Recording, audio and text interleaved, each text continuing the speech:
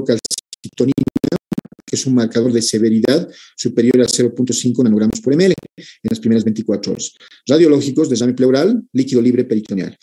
Y las escalas pronósticas, Apache 2, ¿sí? Se puede utilizar Apache 2 mayor a 8, Apache 0 mayor a 6, y también se puede utilizar como escalas pronósticas otras, como por ejemplo la escala de Ramson, la escala de Glasgow, mayor a 3 puntos.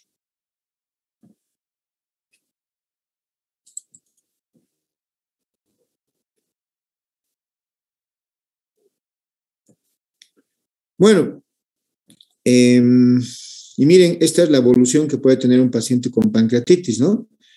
Miren, acá tenemos un, un páncreas normal, ¿no? ¿Qué ha pasado acá? El paciente ya tenía piedras en la vesícula, cálculos, uno o varios cálculos ha migrado a través del conducto cístico al conducto colédoco y están obstruyendo la desembocadura, ¿no? Y este paciente hace un episodio de pancreatitis que eventualmente puede ser necrotizante, como se puede ver acá, ¿no? Y ustedes saben de que al enterarse, los, rusos nunca quieren quedarse atrás, ¿no? Los rusos dijeron, no, si los americanos están sacando consensos para pancreatitis, eh, los consensos de, Atlanta, los españoles están sacando los consensos Semisiuk, ¿no? Entonces, ellos sacaron la clasificación de Petrov en el 2010, sí, de pancreatitis aguda, ¿no? Esta clasificación avanza y mejora de manera significativa la, la de Atlanta 1992, ¿no? Los criterios en esta clasificación se basan en las características de los determinantes locales, necrosis peripancreática ausente, sistémico, insuficiencia de un órgano ausente, transitorio o persistente, así como la posibilidad de integración entre los factores determinantes durante el mismo episodio, ¿no? Estos eh, eh, solamente se los comento, no los, no los utilizamos demasiado. Estas son las fases de la pancreatitis aguda, ya lo hemos comentado, ¿sí?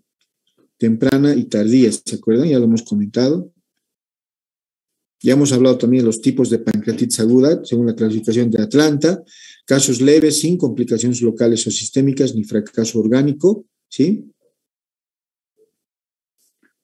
Acá podemos ver, miren, casos de pancreatitis, acá está la, columna vertebral, aquí está la vértebra, acá está la aorta, acá está la vena cava, ¿sí? Acá está el páncreas globalmente aumentado de tamaño y se puede ver que está heterogéneo, es decir, que presenta dos densidades, ¿no? Y eh, que existe una, severa, una severa afectación de pancreatitis, ¿no? ¿Qué les llama la atención esta tomografía? Miren, pancreatitis aguda grave, aquella que presenta fracaso orgánico con o sin complicaciones locales, es decir, la grave es la que presenta complicaciones sistémicas, ¿no? Y miren, ¿qué podemos ver en esta tomografía? Una severa pancreatitis, ¿no? Miren, globalmente el órgano pancreático ha aumentado de tamaño y tiene dos densidades. Las zonas oscuras son zonas de necrosis y las zonas eh, blancas son, son tejido sano. Miren, entonces una severa afectación del órgano pancreático, ¿no? Desde el punto de vista mm, eh, anatomopatológico, las afecciones agudas del páncreas, clasificadas como pancreatitis, constituyen una serie de cuadros anatomopatológicos, ¿no? Y se las clasifica así, miren, pancreatitis aguda edematosa, tenemos una pancreatitis aguda necrohemorrágica, tenemos aquí una pancreatitis aguda supurativa y pancreatitis aguda recidivante. Y miren, desde el punto de vista patogénico, en las pancreatitis agudas, ¿sí? Eh, existe una gran liberación de mediadores y enzimas pancreáticas, como vamos a ver más adelante, ¿no? Miren, acá está, por ejemplo, en este cuadrito, las distintas enzimas, ¿sí? Que eh, produce el páncreas, la tripsina, el tripsinógeno, el activador y cuál es su acción, ¿no? Y vamos a hablar específicamente de la patogenia de la pancreatitis aguda, ¿sí? De la pancreatitis aguda de origen biliar, ¿no? Y para explicar la pancreatitis aguda biliar existen las siguientes teorías. Miren, tenemos la teoría del canal común. ¿Qué nos dice la teoría del canal común? Esta teoría fue propuesta por el médico Opie en 1901 y este médico describe una observación original en una autopsia en un paciente fallecido por una pancreatitis aguda grave y en este paciente encontró un cálculo biliar enclavado a nivel de la ampolla de Bater, acá. ¿Qué, ¿Qué, nos está indicando este estudio? La teoría del canal común, ¿sí? Que se basa en una variación anatómica en la, que, existe un conducto común, ¿sí? como se puede ver acá, al que confluyen el conducto pancreático, el Wilson y el colédoco, como se puede ver acá, miren, ambos confluyen a un conducto común. Y en el caso de una obstrucción, es decir, de la migración de un cálculo de la vesícula a través del cístico al colédoco, el cálculo obstruiría esta zona, ¿sí? Va a obstruir el flujo, el flujo biliar y obviamente esto va a condicionar el hecho de que exista una autoactivación de las enzimas pancreáticas y exista autodigestión del órgano pancreático. ¿Estamos de acuerdo? Esto nos dice la teoría del canal común. También en la teoría del canal común habría, existiría aumento de la presión intraluminal, ¿sí? En este conducto, lo que va a provocar alteraciones en la microcirculación y la extravasación de jugo pancreático eventualmente al parénquima. Sin embargo, esta, eh, eh, esta anomalía del conducto común solamente ocurriría en el 62% ¿sí? de los humanos. Acá está lo que les decía, la teoría del canal común. ¿Qué hemos dicho? ¿Por qué se caracteriza? Porque va, va a haber un conducto común al cual desembocan, ¿sí? el conducto biliar principal, es decir, el conducto colédoco, que es este, y el conducto de Wilson, que es este, ¿no? Entonces, cuando existe una obstrucción acá, el jugo pancreático no puede ser drenado hacia el duodeno que está acá, ¿no? Igual la bilis no puede ser drenada. Entonces, el jugo pancreático y las enzimas pancreáticas retornarían al páncreas y producirían autodigestión del órgano pancreático. Eso nos dice la teoría del canal común. Otra teoría, tenemos la teoría obstructiva que fue propuesta en 1974 por Acosta, médico argentino. Este médico reportó la recolección en pacientes con pancreatitis litiásica de cálculos en las materias fecales. Entonces, ¿qué hacía Acosta con sus residentes en ese año? a los residentes que, no hacían algún trabajo, que se portaban mal, les hacía hacer tamizaje de las heces fecales, es decir, es decir les, hacía les, les daba las heces fecales del paciente afectado con probable pancreatitis aguda, les hacía desecar las heces fecales y les hacía tamizar las heces fecales. ¿En qué consiste tamizar? Buscar, en buscar en las heces fecales cálculos que nos indique, eh, que, nos, que nos trate de explicar esta teoría obstructiva. Entonces, miren, lo que les decía, en esta teoría, ¿sí? Se, se realiza en el paciente recolección en pacientes con pancreatitis litiásica de cálculos en las materias fecales mediante tamizado de las mismas y se recogió o se encontró cálculos en el 94% de los casos. Entonces, la teoría de obstructiva fue demostrada, ¿no? A diferencia de solo el 8% de pacientes con patología biliar sintomática, pero sin pancreatitis. Entonces, ¿qué planteó Acosta? Que la migración calculosa a través de la ampolla de Bater produciría este hecho, obstrucciones intermitentes que van a determinar hipertensión a nivel del conducto pancreático con daño celular por activación enzimática intraglandular prematura. ¿Qué les parece? Entonces, esa es la, segunda teoría, la teoría obstructiva, ¿no? Eh, obstrucción del conducto pancreático se ha descrito en neoplasias también y anomalías anatómicas pancreáticas con pancreatitis, ¿no? Entonces hay pacientes, la teoría obstructiva en resumen nos dice que hay pacientes que tienen migración calculosa, ¿sí? A través de la ampolla de Bater, ¿no? ¿Sí? Eh, entonces, pues, sobre todo cuando los cálculos son, son pequeños. Y la obstrucción intermitente que produciría esta, este pasaje de los cálculos podría provocar autoactivación de las enzimas pancreáticas y daño del órgano como tal, ¿no? Tenemos la teoría del reflujo. La pancreatitis biliar se producía por un esfínter, ¿sí? Miren, por un esfínter, por, por un esfínter de Odi, ¿no? Que después del pasaje de un cálculo, ¿sí? A través del esfínter de Odi, ¿sí? Va a permitir el reflujo de las enzimas pancreáticas ya activadas desde el duodeno, ¿sí? Hacia el conducto pancreático principal. Y obviamente eso es lo que va a ocasionar la pancreatitis aguda. Les vuelvo a repetir, teoría del reflujo. Se va a producir por un esfínter de Odi que después del pasaje de un cálculo, ¿sí? Entonces, en esta, en esta teoría también se piensa que hay pasaje de cálculos a través de la papila de Batter, ¿no? Eso permitiría que eh, permitía el reflujo de las enzimas pancreáticas ya activadas desde el duodeno hacia el conducto pancreático principal, ¿no? Y actualmente es admitido de que la migración de un cálculo a través de la ampolla con bloqueo temporal sería el factor desencadenante de pancreatitis aguda por obstrucción papilar y reflujo bio pancreático subsecuente. Entonces, son algunas teorías del porqué de la presentación de la pancreatitis, ¿no? Esto ya lo hemos comentado. Y miren, estos son factores asociados a la pancreatitis litiásica. Para, eh, para que un paciente nos haga un episodio de pancreatitis, muchachos, ¿importará el tamaño del cálculo o no? ¿Qué cálculos nos podrán provocar una pancreatitis? ¿Los microcálculos, es decir, la microlitiasis o la macrolitiasis? Los macrolitiasis, doctor, mayor a 3 ¿Cómo es? ¿Qué dicen? ¿Qué dicen? La microlitiasis la microlitiasis, porque los cálculos pequeños son los más peligrosos. Los cálculos son, los, son cálculos pequeños que fácilmente van a poder atravesar el conducto cístico y van a poder llegar hasta el conducto colédoco. Entonces, ¿cuáles son los factores predisponentes de pancreatitis de origen biliar? Cálculos pequeños, menores a 3 milímetros. ¿Qué les parece? Dos, conducto cístico ancho. Tres, conducto común largo, mayor a 5 milímetros. Gran número de cálculos, eh, obviamente es otro factor, cálculos de pequeño tamaño, conducto cístico y coledociano de gran tamaño, presión basal aumentada en el esfínter de Odi, ondas fásicas esfinterianas de alta amplitud, canal pancreático biliar común más largo y mayor reflujo a nivel del conducto pancreático. Entonces, todos estos son factores asociados a pancreatitis litiásica. Y este autor americano, Kelly, en 1990, indicó de que podría existir un momento de oro o hora de oro para la remoción temprana del cálculo enclavado a nivel de la papila de Bater y evitar el desarrollo de una pancreatitis aguda. Pero lamentablemente ese momento sería muy temprano, inclusive antes de la aparición de los signos y síntomas del paciente y no podría ser determinado con exactitud, ¿no? Pero sí, Kelly tenía mucha razón. Actualmente en los pacientes, por ejemplo, que tienen ictericia y que hacen eh, pancreatitis, les hacemos hacer un estudio de CEPRE, una colangiopancreatografía endoscópica retrógrada, para retirar los conductos de la vía biliar principal y el paciente mejora la evolución de su cuadro de pancreatitis. Acosta en el 97 determinó que la gravedad de la pancreatitis era mayor cuanto mayor el tiempo de obstrucción, eso también está claro, más de 48 horas, ¿no?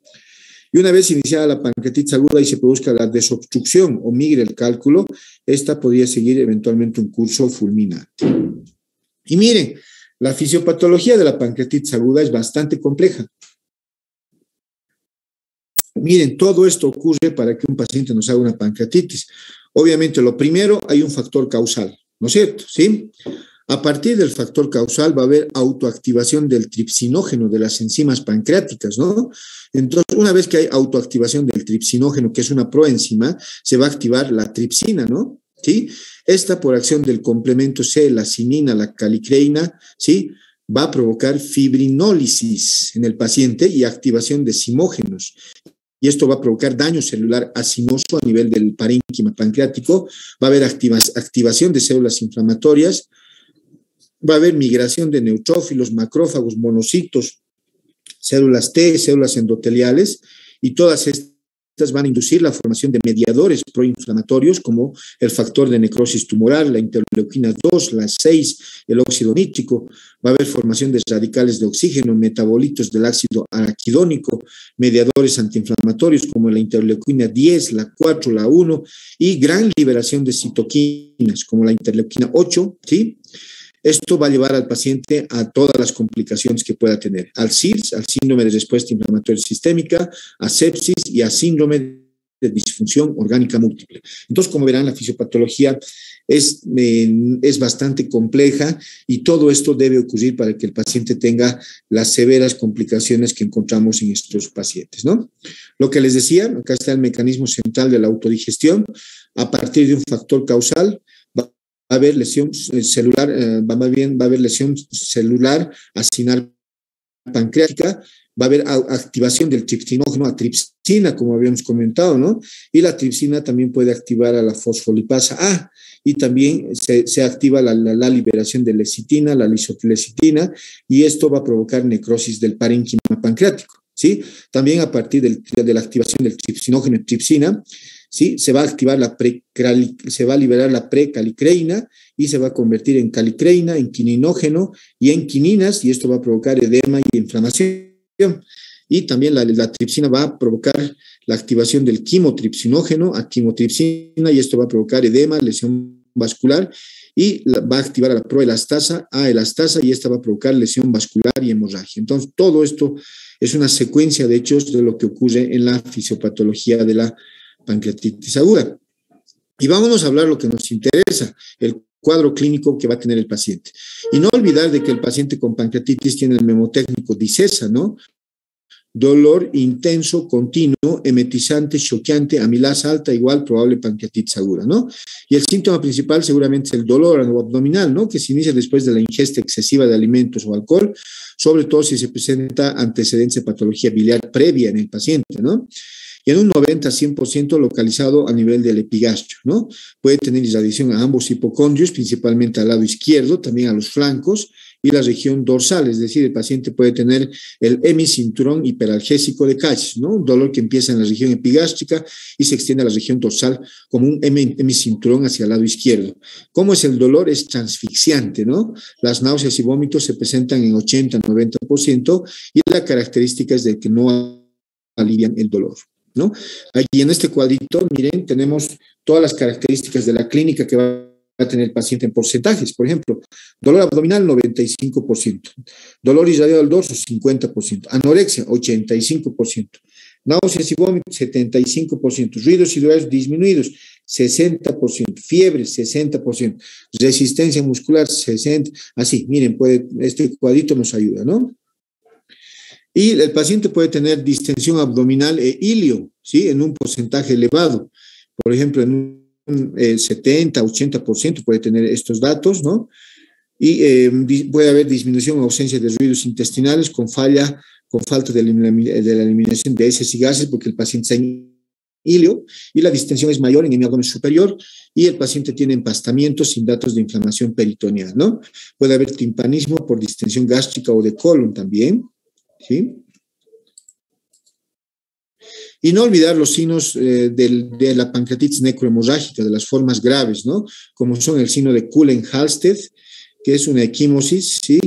A nivel del ombligo, ¿no? El signo de Gray-Turner, que son equimosis a nivel de los flancos o en la región dorso-lumbar, y el signo de Fox, equimosis por debajo del ligamento inguinal o sobre la arcada de Paupart, ¿no?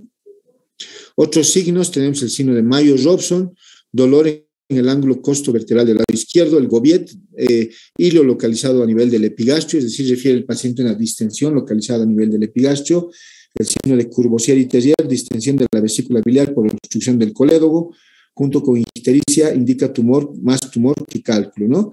El signo de Dielafoy, dolor insoportable, tendencia al colapso y disney angustiosa, ¿no?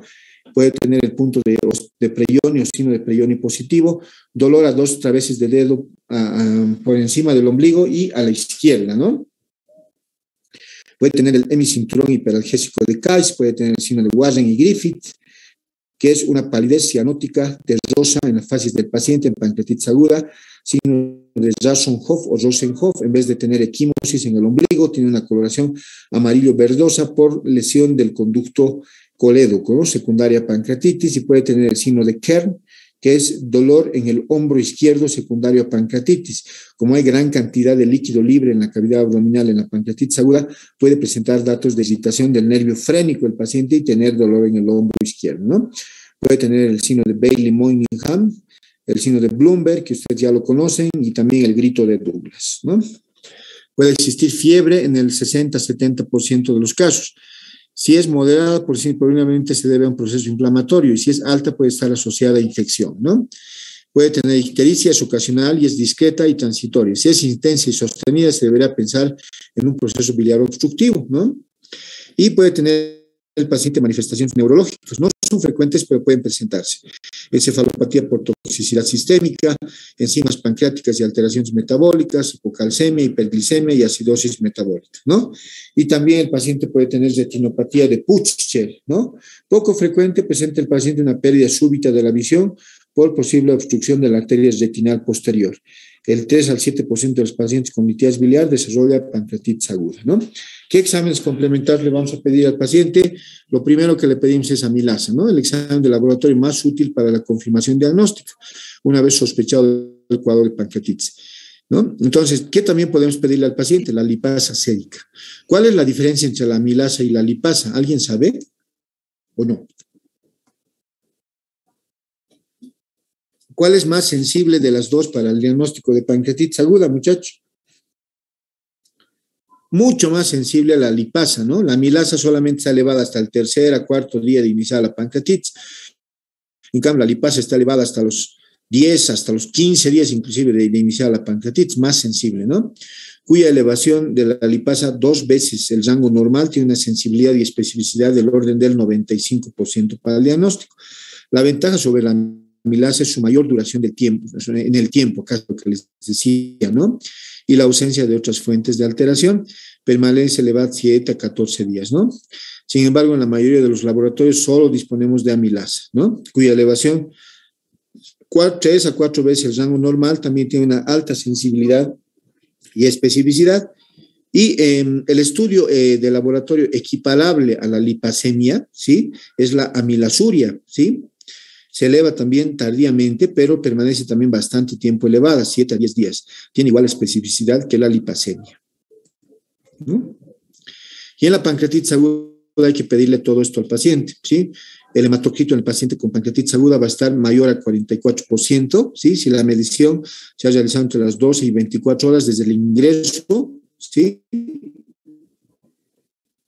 Es un eh, factor eh, independiente, es un, es un factor que nos indica que eventualmente el paciente va a tener necrosis, ¿no? Es un factor de riesgo. Tiene, el paciente tiene leucocitosis, 15.000 a 20.000 por milímetro cúbico, tiene hiperglicemia, ya saben, obviamente este paciente si tiene afectación pancreática, no olviden que la insulina es producida por las células beta de los islotes de Langerhans, ¿no? Entonces va a tener este paciente hiperglicemia porque no va a producir adecuada cantidad de insulina, ¿no? Va a tener bilirrubinas incrementadas mayor a 4 miligramos por decilitro. Como, hay un problema, como puede haber un problema obstructivo de la vía viral, hay aumento de la fosfatasa alcalina, aumento de las transaminasas. Y hablando de las transaminasas, la ALT, es decir, la alanino aminotransferasa, la TGP, si está mayor a 150 unidades internacionales por litro, nos indica de que probablemente el paciente tiene una pancreatitis aguda biliar, ¿sí? Tiene sensibilidad del 48% y especificidad del 96% y la ALT mayor a 3 del límite superior normal nos, nos indica que el, paciente tiene alta probabilidad de tener una pancreatitis aguda también de origen biliar con un valor predictivo positivo del 95%, ¿no? La gamma glutamil transpeptidasa mayor a 150 unidades internacionales por litro nos indica probable eh, etiología biliar de la pancreatitis aguda, ¿sí? Es una constante también en la pancreatitis, muchachos, encontrar hipocalcemia, disminución del calcio en el torrente sanguíneo del paciente, por formación de, focos de esteatonecrosis que secuestran calcio de la circulación sanguínea, ¿sí?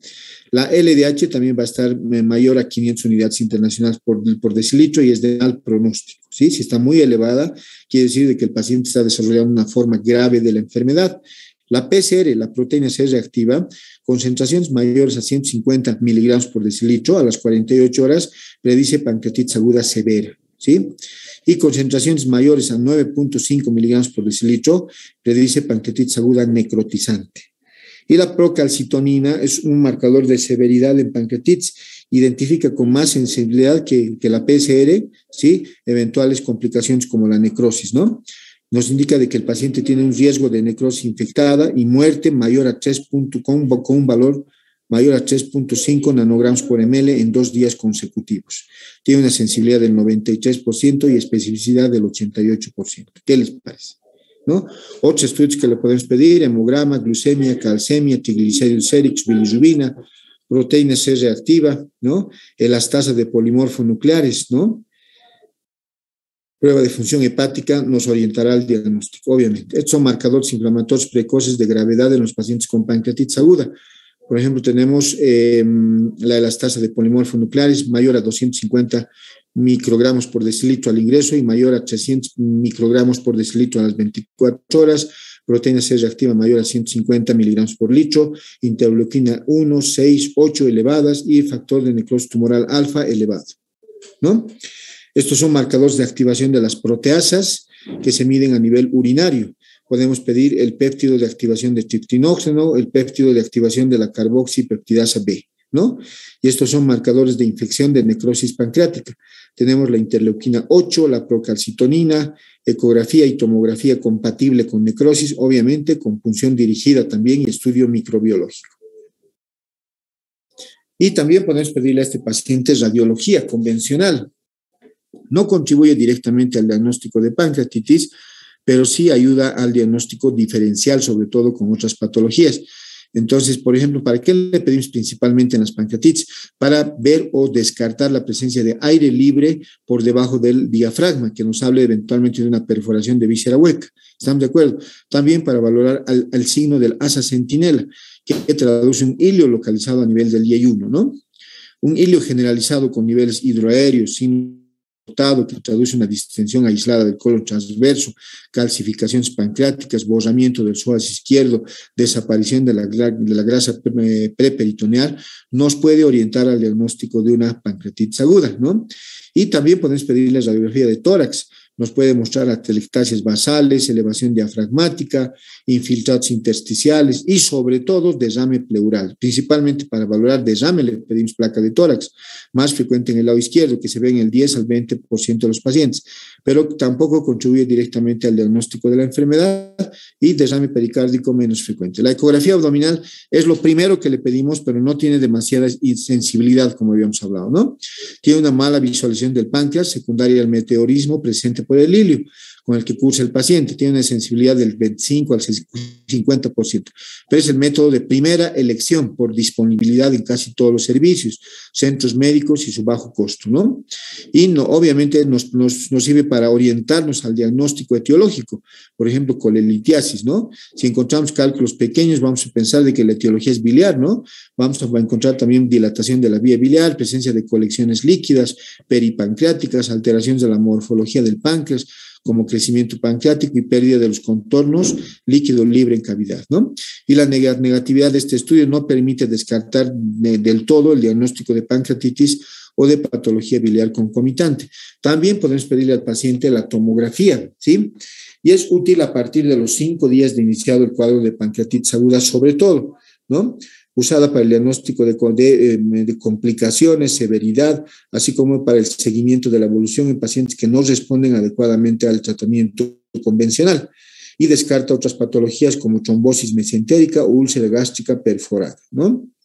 Y el uso de contraste en estos pacientes para valorar mejor la pancreatitis es esencial para el diagnóstico de necrosis y colecciones líquidas, ¿no? También podemos pedirle el ataque licoidal y la resonancia magnética, adquiere un interés pronóstico al poder detectar todo esto. Miren, eh, nos va, nos va eh, eh, permitir valorar una adecuada traducción tomográfica de las lesiones que se, que se hallarían eh, desde el punto de vista anatomopatológico en el páncreas, ¿no? Sobre todo en la, pancreatitis necrohemorrágica, ¿sí? ¿Y qué les llama la atención en esta, en esta imagen tomográfica? Miren, acá está el páncreas. Existe una gran o severa pancreatitis en este paciente y existe una, imagen heterogénea a nivel pancreático, es decir, existen imágenes hipodensas e hiperdensas, lo que nos habla de que este paciente tiene eventual necrosis segmentaria en varios lugares del páncreas. Igual acá, una gran pancreatitis, como pueden ver, ¿sí? Todo esto es el páncreas. ¿Y qué será esto? ¿Quién me puede decir? ¿Qué les estoy mostrando acá? Un pseudoquiste pancreático, ¿no? Igual acá, ¿sí? un pseudoquiste pancreático, acá igual, colecciones pancreáticas, necrosis pancreática en el interior del páncreas, ¿no? Igual acá, una severa pancreatitis a nivel del cuerpo y la cola del páncreas, como se puede ver acá. Igual acá, un pseudoquiste pancreático. Acá ya el paciente, además del pseudoquiste, está haciendo un absceso pancreático. ¿Por qué?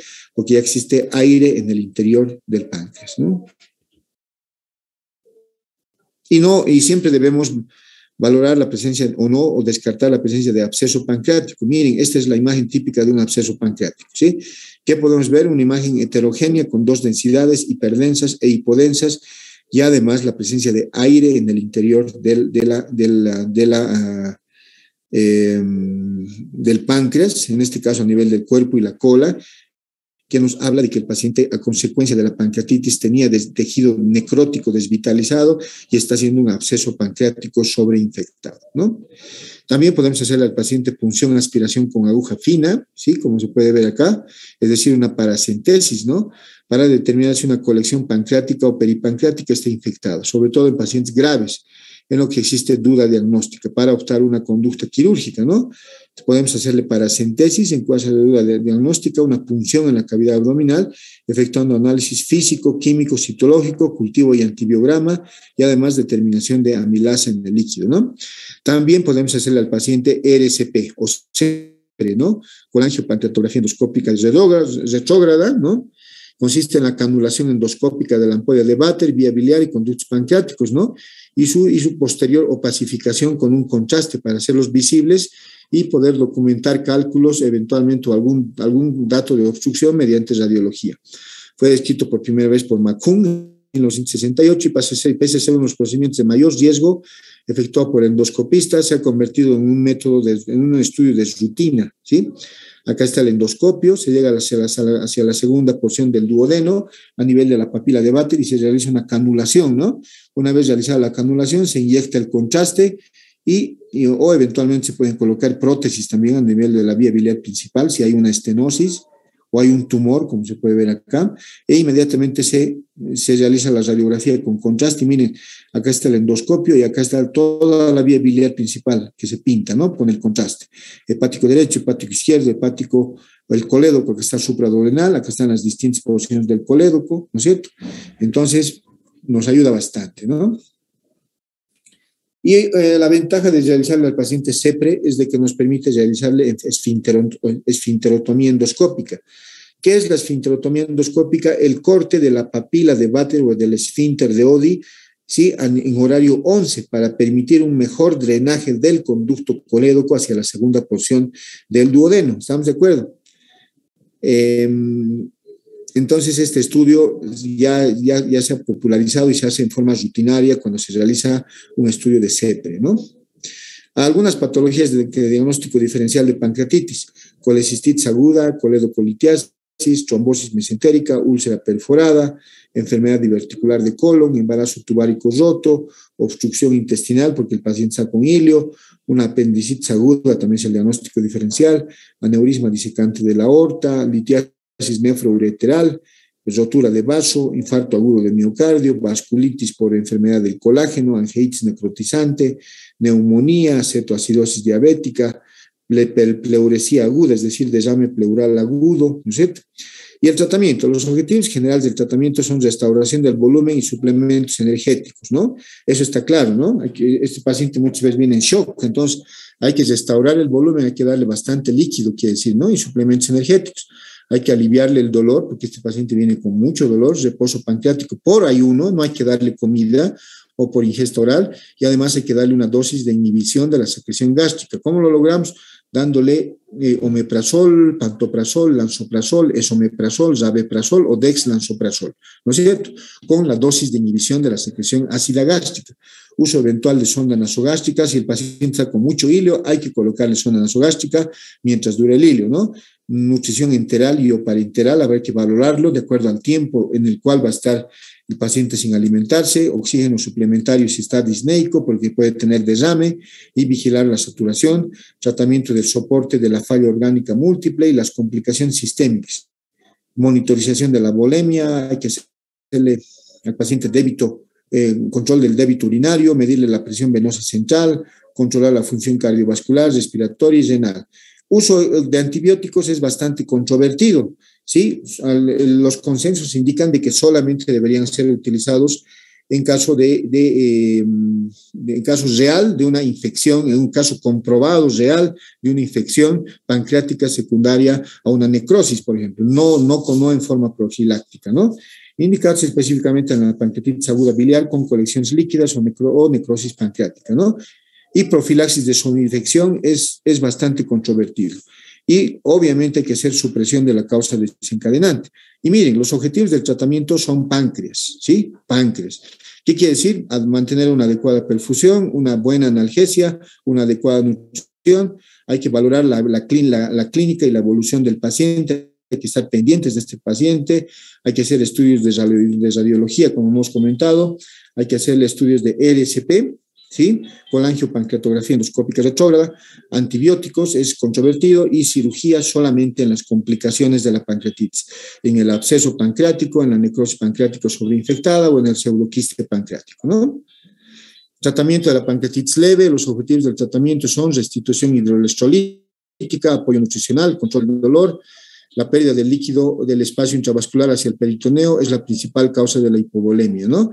¿Qué soluciones se deberían utilizar en este paciente para reanimarlo? Cristaloides.